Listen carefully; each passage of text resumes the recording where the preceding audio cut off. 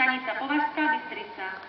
Osobný vlak zo stanice Leopoldov, smer Považská Teplá a Žilina stojí pri prvom nástupišti na tretej koľaji. Osobný vlak zo stanice Leopoldov, smer Považská Teplá, Plevník, Predmier, Bytča, Dolný Hričov, Horný Hričov a Žilina stojí pri prvom nástupišti na tretej koľaji.